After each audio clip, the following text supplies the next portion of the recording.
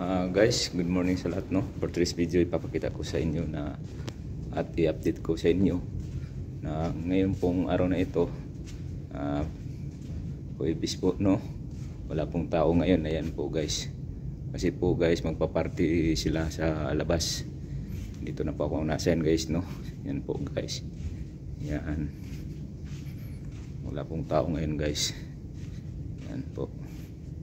Yan po. Papakita sa dito po tayo sa second floor. Yan po yung building na bago. Guys no? At yung puti na yan parking lot po yan no? Ganyan, ganyan po dito kaganda ang parking lot guys no? Parking lot lang po yan guys. Maganda na. Yan. Wala pong tao. Party lang po sila sa labas daw. May pumunta dito ng isa kanina pumasok. Mga alas city so alis na kasi pumunta lang daw siya dito kasi mag-pray daw sila dun sa ngayong alas 8 ito lang naman pong floor na ito ang wala pong pasok guys no? Kasi magpa-party lang po sila. Yan po.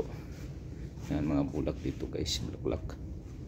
Yan wala pong tao talaga guys.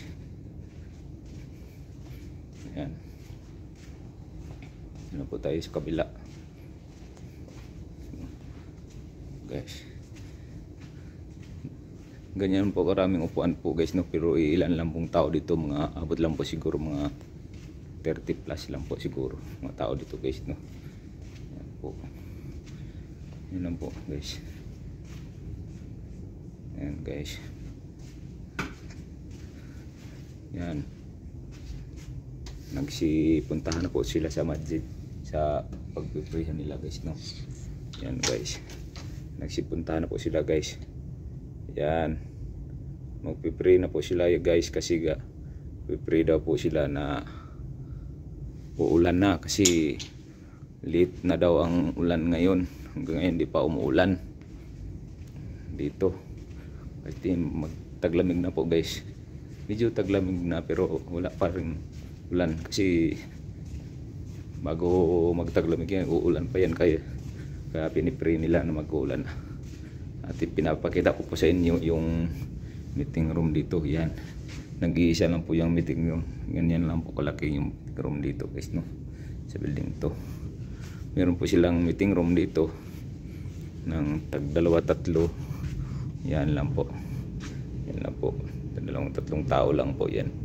Dalawa po yan kabilaan no? Yan po. Yan po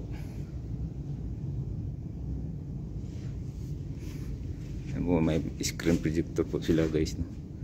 Yan, parang TV. Malaki. Yan po guys. At yun lang. Yan po ang ating video guys. No? At muli paalam at marami pong salamat sa sumabaybay sa aking videos. Ah... Huwag po kayo magsawa sa aking videos guys no. Manood lang po kayo hanggang dulo at sa ating pag-angat guys no? Para po tayo makatulong sa mga nangangailangan po no?